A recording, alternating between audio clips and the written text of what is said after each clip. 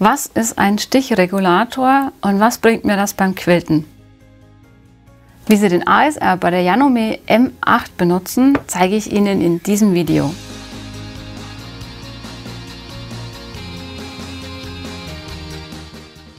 Hallo und herzlich willkommen in unserem Nähzimmer. Von hier aus zeigen wir Ihnen Tipps und Tricks rund ums Nähen, Sticken und Plotten. Und wir zeigen Ihnen auch, wie Sie bestimmte Zubehörteile benutzen. Wenn Sie keins dieser Videos mehr verpassen möchten, abonnieren Sie unseren Kanal und aktivieren Sie die Glocke.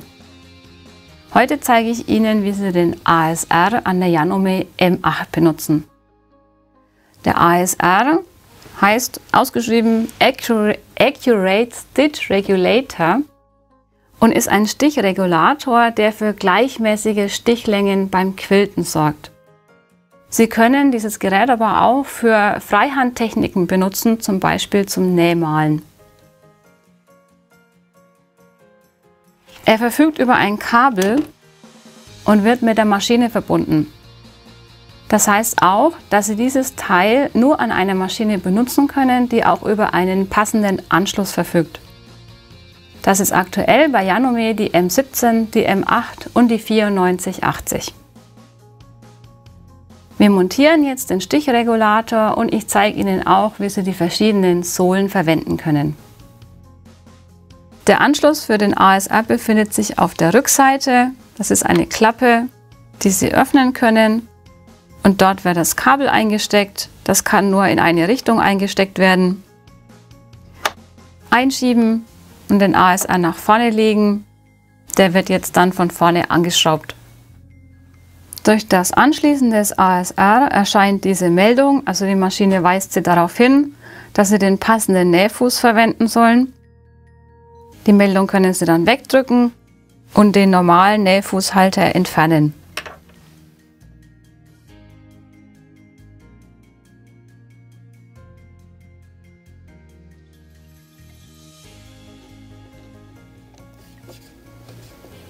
Einfach hinschieben und die Schraube erst handfest anziehen und mit dem Schraubendreher nochmal leicht nachziehen. Drehen Sie sie nicht zu fest zu. Durch den Anschluss des ASR hat die Maschine bereits einige Stiche ausgegraut. Damit man damit quilten kann, muss man aber noch ein paar Einstellungen vornehmen. Sie müssen allerdings nicht selbst entscheiden, was Sie aktivieren oder deaktivieren müssen, sondern Sie können das Ganze über den Nähberater auswählen. Das ist das T-Shirt-Symbol. Auch hier sind einige Bereiche ausgegraut, weil sie mit dem angeschlossenen ASR nicht benutzt werden können. Und wir wechseln hier oben zum Patchwork und Quilten. Hier gehen auch einige Techniken nicht. Wir möchten ja aber Freihand quilten, das ist aktiv. Einfach antippen. Und die M8 schlägt Ihnen ja den passenden Nähfuß vor. Hier ist ein normaler Freihand-Nähfuß angezeigt und kein ASR. Ich kann auch den ASR nicht auswählen, also kann ich diesen Stich nicht verwenden. Das gilt auch für den Geradstich 2. Ich kann den ASR nicht benutzen, aber beim Geradstich 3. Jetzt ist das ASR-Feld aktiv und sobald ich drauf tippe, wird mir hier auch eine ASR-Sohle angezeigt. Zusätzlich erscheint jetzt hier diese Stichlängeneinstellung. Die Maschine misst ja über einen Sensor, wie schnell ich meinen Stoff bewege und passt die Stichlänge dementsprechend an. Ich entscheide also nicht mehr durch mehr oder weniger Gas geben über die Stichlänge und über meine Stoffbewegung, kombiniert zum Pedal, sondern ich kann hier die Stichlängen eingeben. Über dieses Symbol komme ich zu weiteren Einstellungen, zum Beispiel zum Anpassen der Fadenspannung oder zur Einstellung der Höhe. Jetzt nehme ich mir erstmal einen Stoff, hole meinen Unterfaden herauf und fange an zu quilten. Ich habe die Maschine bereits eingefädelt und die Geradstichplatte montiert für ein gutes Stichbild. Dann nehme ich mir meinen Stoff und hole den Unterfaden herauf, indem ich den Oberfaden festhalte und auf die Nadeltaste drücke. dann kann ich den Unterfaden mit der Pinzette erfassen und rausziehen. Wenn ich will, dass der Oberfaden in dem Loch bleibt, weil ich habe ja jetzt die Sohle mit dem geschlossenen Nähfuß, dann kann ich das auch machen mit der Pinzette, indem ich die Nadel absenke und den Oberfaden rausziehe. Ich habe jetzt Stichlänge 2,6 eingestellt und ich nähe mit der Taste. Ich zeige verschiedene Varianten. Man kann mit dem ASR mit der Taste nähen oder mit dem Pedal. Wir fangen jetzt mit der Taste an. Um den Stoff besser bewegen zu können, nehme ich noch Quilthandschuhe. Und wenn man auf die Starttaste drückt, dann fängt die Maschine langsam an zu nähen, bis ich beginne den Stoff zu bewegen.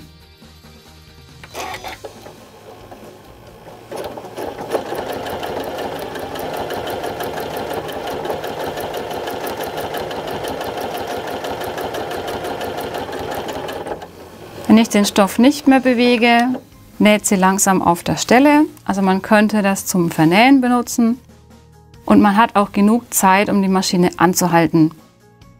Dann schaue ich mir meine ersten Stiche an, ob die Fadenspannung passt, ob die Stichlänge passt. Ich hätte die jetzt gerne ein bisschen kürzer.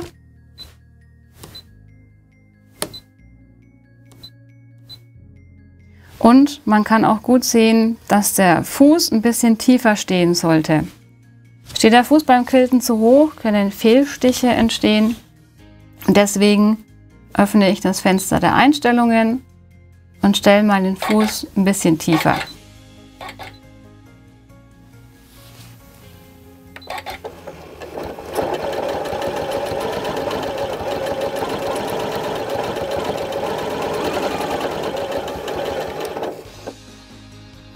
Bilden sich beim Quilten ungleichmäßige Stichlängen, zum Beispiel wenn Sie kleine Kurven arbeiten möchten, gibt es eine weitere Einstellungsmöglichkeit für den ASR. Der befindet sich im Setup-Menü bei den Näheinstellungen und dann blättern Sie nach unten. Hier sehen Sie den Punkt ASR Empfindlichkeit. Der steht jetzt hier auf minus 3. Das heißt, er war zu wenig empfindlich, um die kleinen Bereiche schön quilten zu können. Ich stelle ihn jetzt auf 0, bestätige mit OK und quilte dann weiter.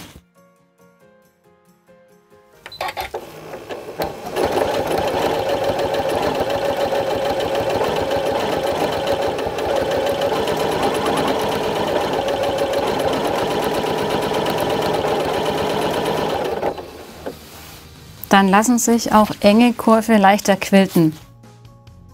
Hier müssen Sie bei jedem Motiv ein bisschen ausprobieren, mit welcher Einstellung der ASR am besten reagiert.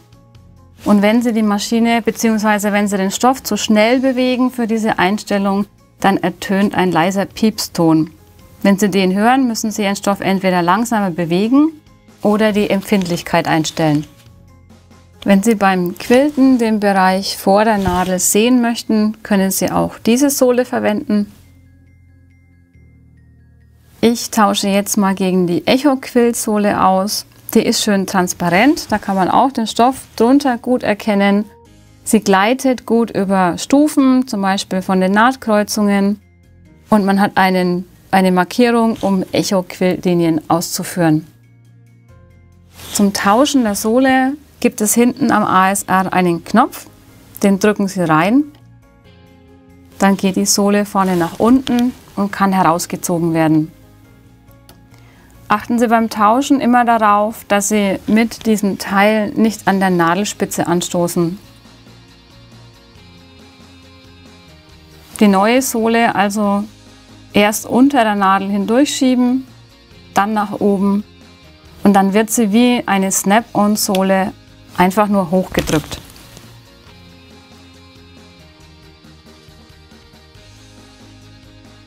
Jetzt können Sie weiter quilten, also wieder den Unterfaden hochholen und neu beginnen. Wenn Sie bei der M8 den Fadenabschneider in Verbindung mit dem ASR benutzt haben, starte die Maschine beim nächsten Mal nur mit einem Stich. Das dient dazu, den Unterfaden hochzuholen. Sie können also den Oberfaden festhalten, auf Start drücken und die Maschine macht nur einen Stich. Und jetzt hätten Sie die Möglichkeit, den Unterfaden hochzuholen und wegzuziehen. Ich beginne jetzt einfach mal mit den Quilten.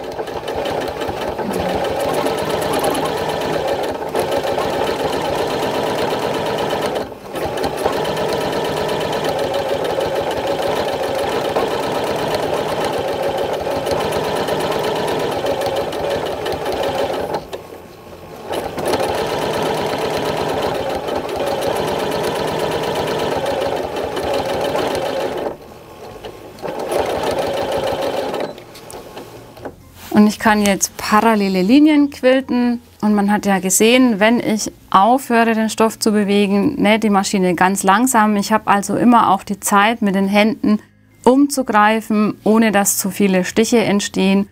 Oder wie man es normalerweise dann gerne macht, man hält an und muss neu ansetzen und diese Startstellen sieht man dann auch ganz schnell. Eine weitere Sohle für den ASR ist die Rulersohle. Die tausche ich jetzt aus hole mir einen Ruler und zeige Ihnen, wie das Teil zusammen mit einem Ruler ganz einfach benutzt werden kann.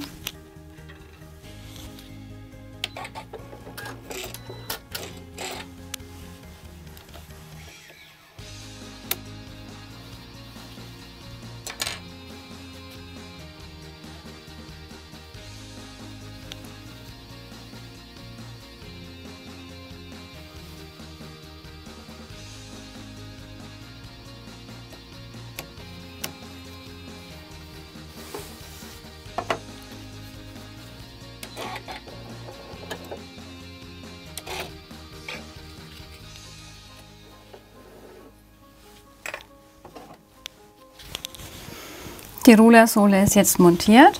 Ich muss allerdings der Maschine auch noch mitteilen, dass ich Rulerwork machen möchte. Das geht dann auch wieder über den Nähberater, also das T-Shirt-Symbol. Hier drücken und dann das Symbol für Quilten mit Lineal auswählen. Auch hier werde ich wieder darauf hingewiesen, den korrekten Nähfuß zu montieren. Bestätigen mit OK. Im Display wird jetzt auch der Rulerfuß angezeigt, den habe ich ja schon montiert. Und ich kann hier unten noch wählen zwischen normalen und leichtem Material. Da muss man ein bisschen ausprobieren. Ähm, ich habe jetzt hier zwei Lagen H630 und wähle dann normal. Schauen wir mal die Einstellungen und die Fadenspannung an. Und auch hier kann man weitere Einstellungen vornehmen, wenn man das Fenster öffnet. Und bei Rulerwork auf jeden Fall auf die Höhe vom Nähfuß achten. Dafür erstmal eine Probenaht machen. Ich lege mir also immer erstmal den Ruler auf den Stoff und drücke ihn fest, so wie ich es später beim Schieben des Stoffes auch machen werde und senke den Nähfuß ab. Dann schaue ich mir an, wie der Ruler zu meinem Rulerfuß passt. Er sollte nicht zu tief stehen, weil sonst irgendwann der Fuß über den Ruler geht es sollte aber auch nicht zu hoch stehen, damit der Fuß nicht irgendwann unter das Lineal gleitet. Beim, bei der Verwendung des ASR mit Rulerwork bevorzuge ich das Pedal. Das heißt, ich stecke jetzt das Pedal ein, um die Maschine mit dem Pedal zu starten.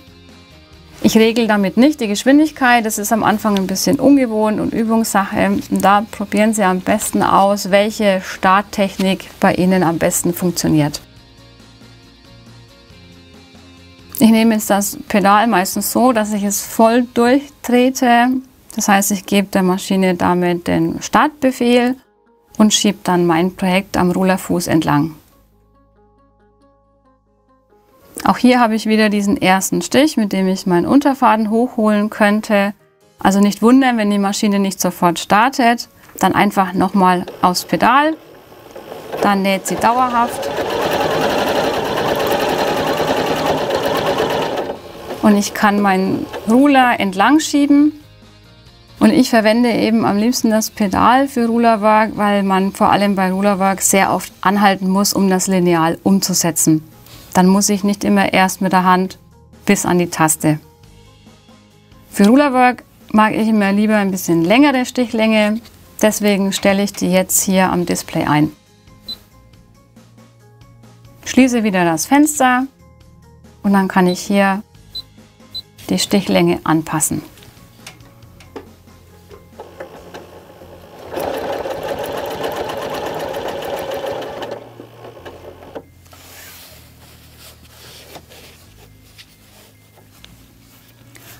Der ASR ist so konstruiert, dass ich die Ruler auch hinter dem Nähfuß anlegen kann.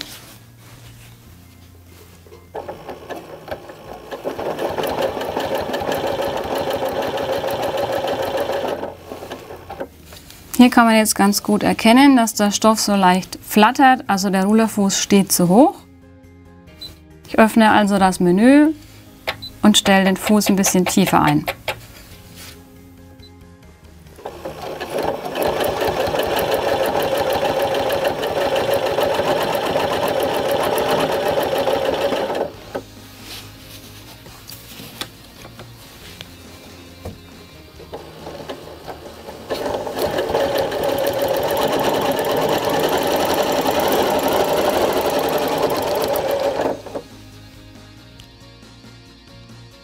Man kann jetzt hier ganz gut erkennen, wir haben Highshank-Ruler verwendet.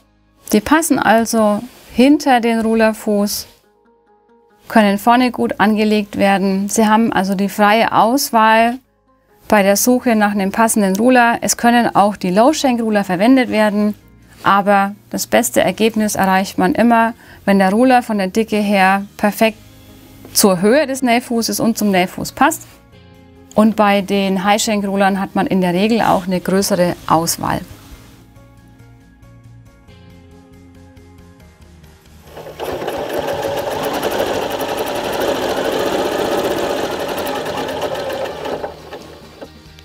So komfortabel funktioniert der ASR bei Janome.